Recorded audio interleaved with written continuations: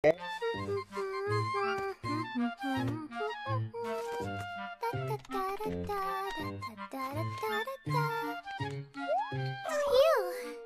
Just a little more and I'll be done.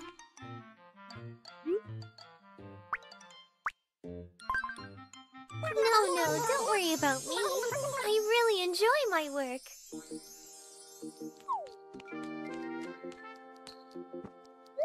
Although, I wish Mayor wasn't so busy with the campsite and Smash.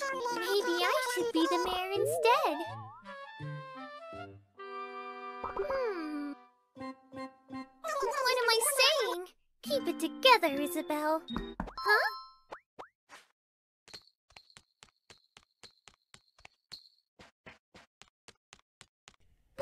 We'll have a letter. Thank you for all your hard work.